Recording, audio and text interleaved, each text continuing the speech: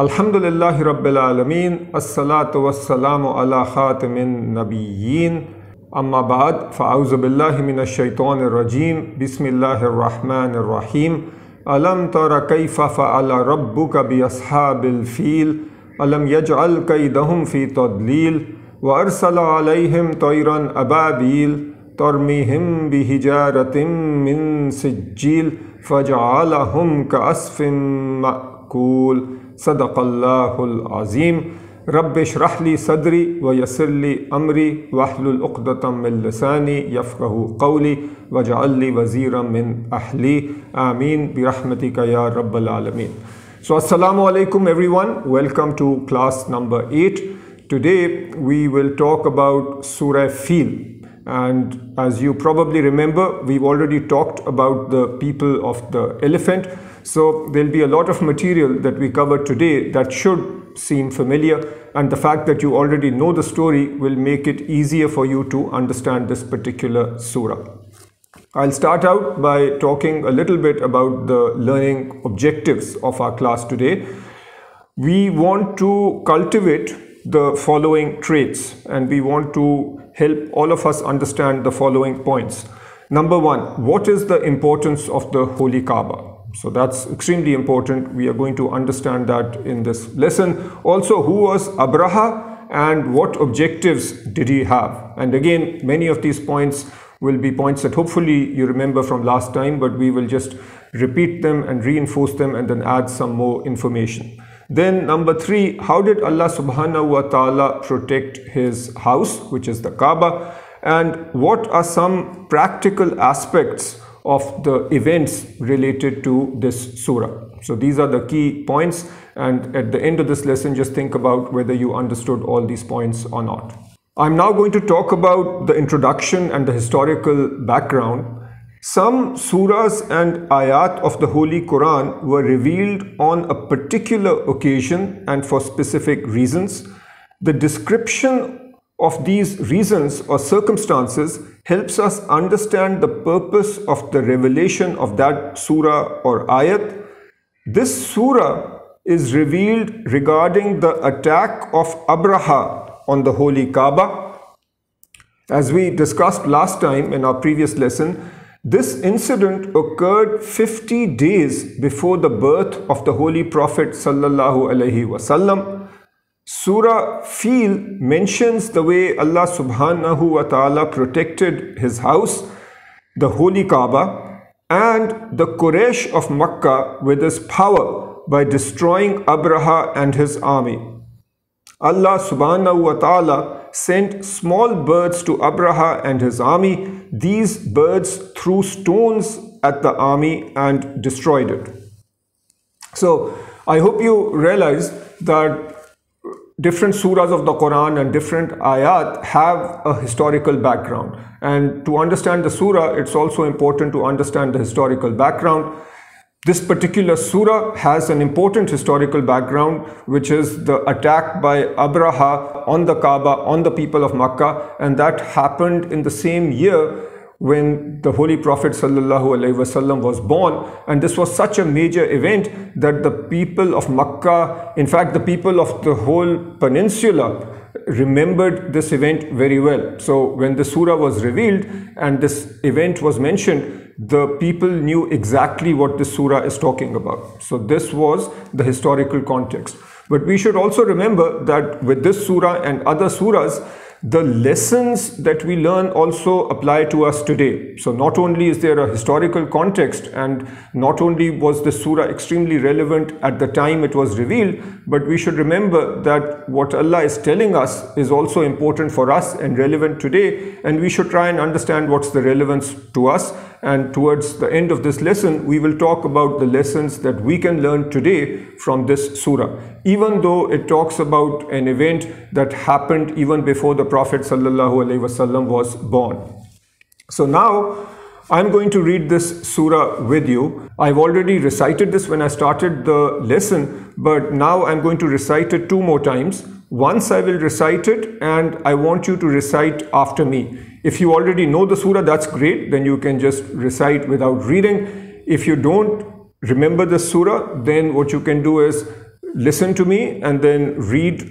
after me. So I'll go ayat by ayat and you can repeat after me. So we'll do this once and then the second time I'll go through the surah and I will help you understand each word in the surah. Alright, so are you ready? Let's do the first recitation. أعوذ بالله من الشيطان الرجيم Okay, so repeat after me. Bismillahir Rahmanir Rahim. Alam tara kayfa fa'ala rabbuka bi ashabil fil. Yeah, please repeat. Okay, very good. Alam yaj'al kaydahum fi tadlil.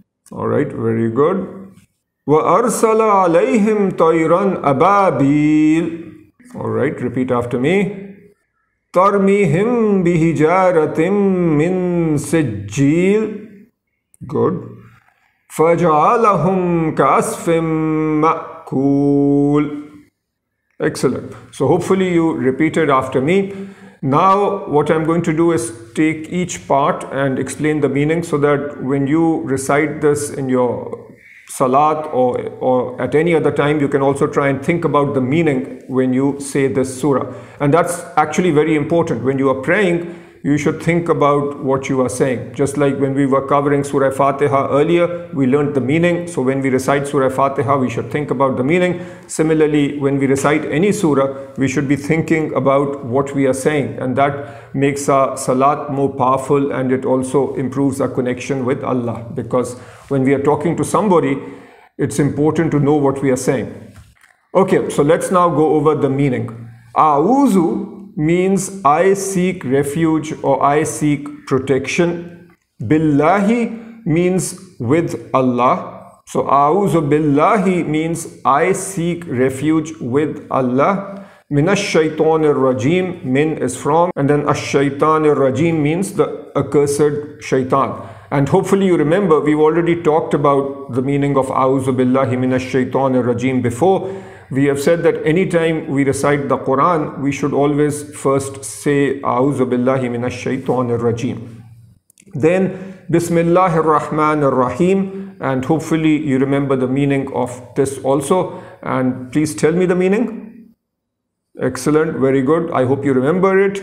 In the name of Allah, the most compassionate, the most merciful. Then, Alam Tara. So, Alam means have you not seen? Now, Allah is talking to the Prophet Wasallam. Have you not seen? And through the Prophet, he's also talking to the people of Makkah because they had actually seen the army of Abraha coming and what happened to them. So when this surah was revealed, there were many people who were still alive who actually had witnessed this event. So Alam Tara means, have you not seen? Kaifa, kaifa means how. So some of you who speak a little bit of Arabic, you might have heard kaifa haluka, how are you? So kaifa means how. Fa'ala, so fa'ala means what he did. Rabbuka, your Lord. Therefore, kaifa fa'ala rabbuka means how your Lord did or how your Lord dealt with. Be ashab al fil. So be is with ashab al feel as we've talked about before means what? Do you remember? Ashab al-Fil. Ashab al-Fil means the people of the elephant. So fil means elephant, ashab is people. So ashab al-fil is people of the elephant. Very good. So as we do this together, I want you to try and remember what these words and phrases mean.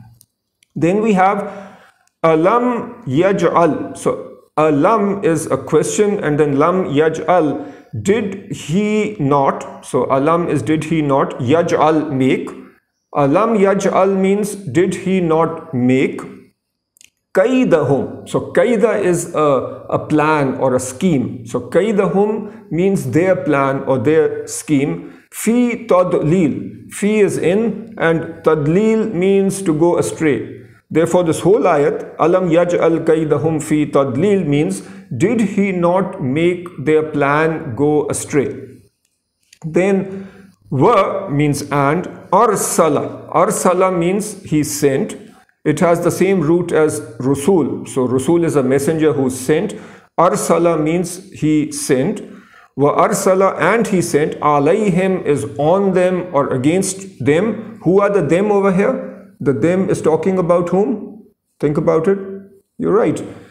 Talking about the people of the elephant. So did he not send against them Tayran Ababil? Tayr means bird and Ababil means flocks. So flocks of birds, so flying birds that came in in flocks.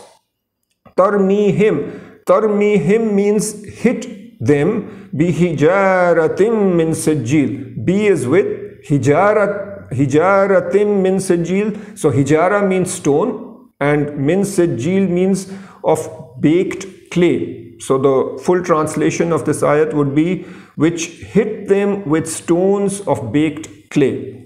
And then the last ayat, Faja'alahum. Fa means and so. Ja'alahum means made them. Ka'asfim ma'kul, like eaten up chaff. So chaff is something that animals eat. So it is something that surrounds grain like uh, for example if we have different kinds of grain like corn and so on the stuff that surrounds them is chaff we human beings don't eat it but animals eat the chaff and they eat some and then they spit out some so it then gets all scattered on the ground so allah is saying that he made the people of the elephant like eaten up chaff so that's a very scary thought so this is the full surah and I hope now that you will try and remember not only the surah but also the meaning of the surah. Now what we are going to do is take each ayat and again look at the meaning of each ayat and then we look at the details or the detailed explanation for each of these ayats. The first ayat is Alam tara kayfa fa'ala rabbuka bi ashabil fil. O Prophet sallallahu alaihi wasallam, and this is implied. The have you not seen could also be towards the people who were living at the time and, and who had seen this event. So have you not seen how your Lord dealt with the people of the elephant? We've already talked about the people of the elephant. Hopefully you remember. Abraha and his army, which had many elephants in it. So when Allah talks about the people of the elephant, Allah is talking about Abraha and his army and they are called people of the elephant because this army had many elephants in it. And if you remember from last time, the people of Makkah, in fact the people of Arabia, were not used to elephants. So when they thought about those people and they saw these elephants as part of the army, they were very surprised. And then they would refer to that army as the people of the elephant. Who was Abraha? Do you remember? So very good. So Abraha was the governor of Yemen. And if you look at the map of Arabia, Yemen is to the south of Makkah. So Abraha was the governor of Yemen. Who appointed Abraha? Do you remember? Abraha was appointed by the king of Abyssinia. And what did Abraha do? He went to attack the holy Kaaba with an army and this army also had some elephants in it. Okay, next ayat. Alam yaj'al kaydahum fi tadlil. Did he not make their plan go astray? Okay, so alam yaj'al kaydahum fi tadlil. What does this mean? Try to repeat. Did he not make their plan go astray? So what was the plan? Their plan was to destroy the holy Kaaba, Ma'azallah. So do you remember what Ma'azallah means? Ma'azallah means God forbid. When do we say this? Do you remember? We say this whenever we say something that is bad or something that should not happen or we don't want it to happen. We say Ma'azallah, which means God forbid. Alright, so what were the objectives of Abraha? Do you remember from last time? His aim was not to get religious benefit, but rather he wanted to get all the economic, social, and political benefits that the Quraysh had because of the Holy Kaaba. So I hope you remember from the story, because of the Holy Kaaba, people from all over Arabia and north of Arabia would come to the Holy Kaaba and it became a center of trade. And because of that, the Quraysh had a very high status and they were also very well off economically and they were also respected because of the Kaaba. So what Abraha wanted He wanted to get all those benefits. The benefits that Quraysh had because of the Kaaba, they had economic benefits, they had social status, people respected them. So Abraha wanted to get those benefits and that's why he wanted to destroy the Kaaba. He thought that if he destroyed the Kaaba, then people will come to Yemen, which is where he was from, and then he will start getting all those benefits. So what was the secret plan of the people of the elephant? By destroying the holy Kaaba, annihilating the Quraysh, and terrifying the people of Arabia, they, in other words, the people of the elephant, Abraha and his army, they actually wanted to get hold of the trade route that went from the south of Arabia to Syria and Egypt. So remember I was telling you that there was this trade route that connected the south of Arabia, which is where Yemen is, all the way up to Syria, which is north of Arabia, and Egypt, which is also north of Arabia and a little bit to the west. So what Abraha and his army wanted was to capture the trade route, but they kept this motive hidden and showed that they wanted to take revenge for the desecration of their church by the Arabs by destroying their holy place of worship, Ma'azallah.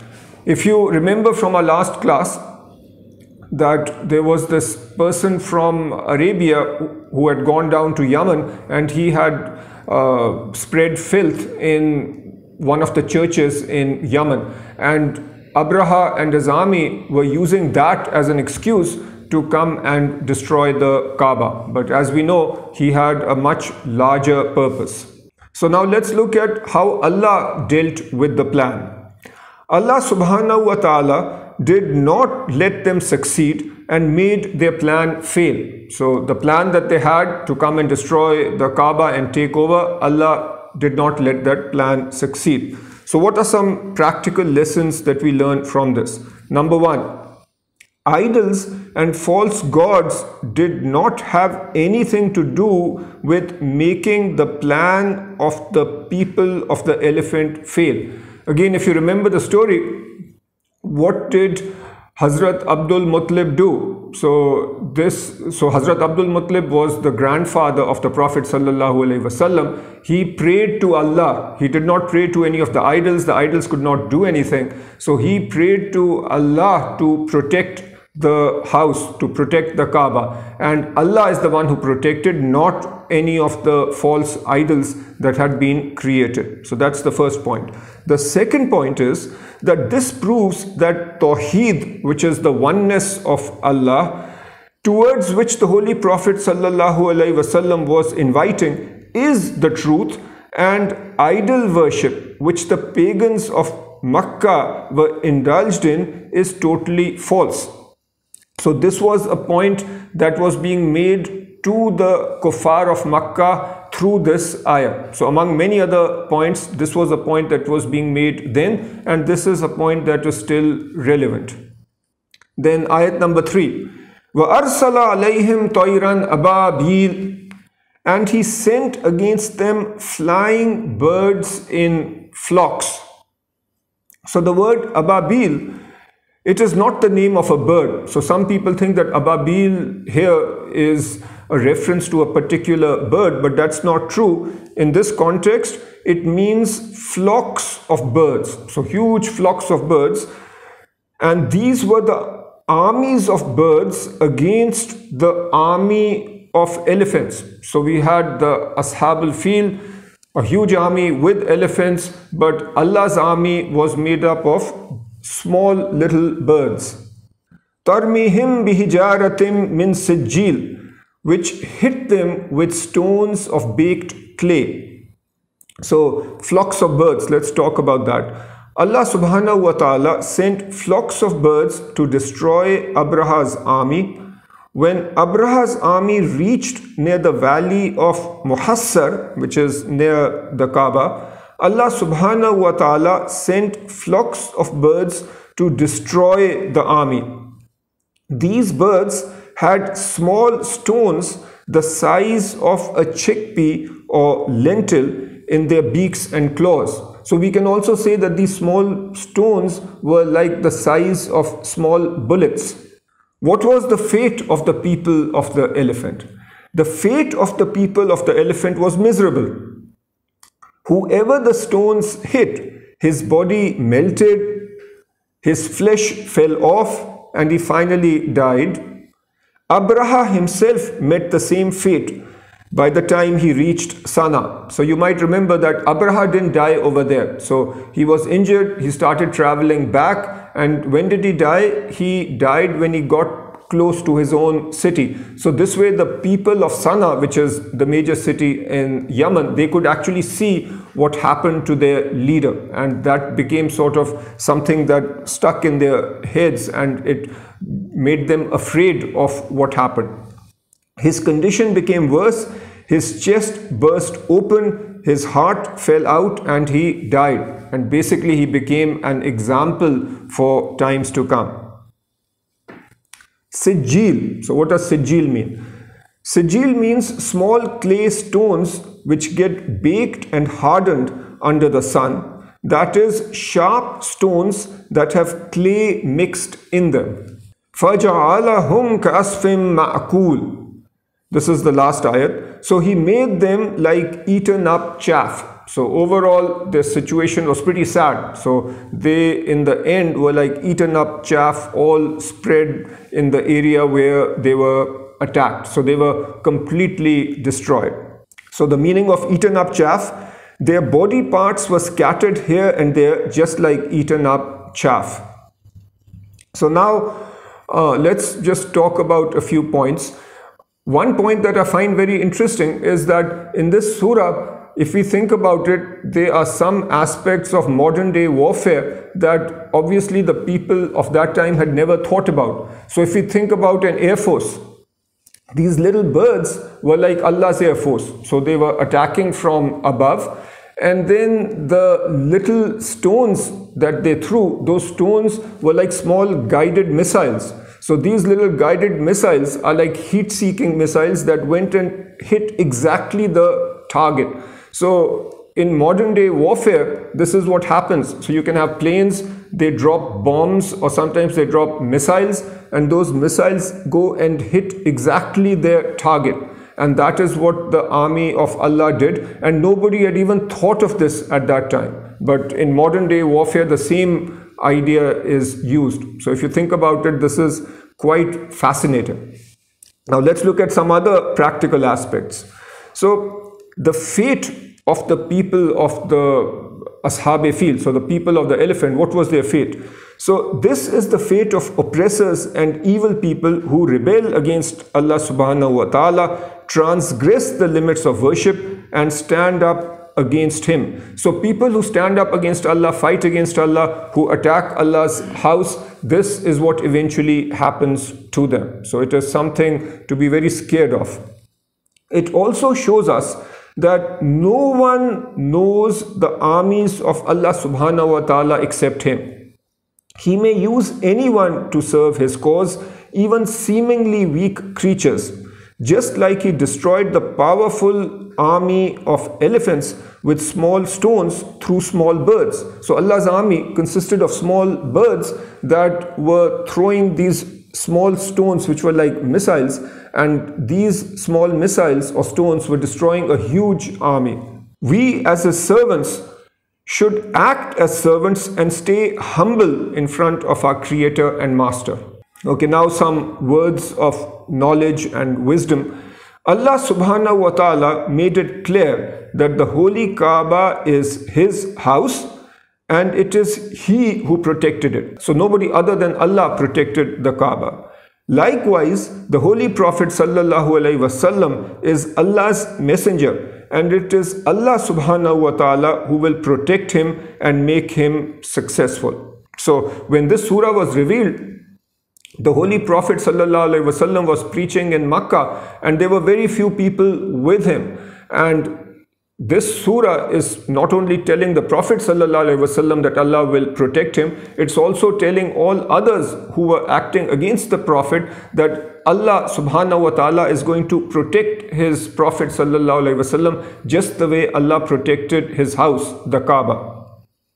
So now let's go over some points that we should remember from this surah. One important point is that Allah subhanahu wa ta'ala has the greatest power and the highest authority. He protects his house and his deen himself. So this is the point to remember from ayat number 1.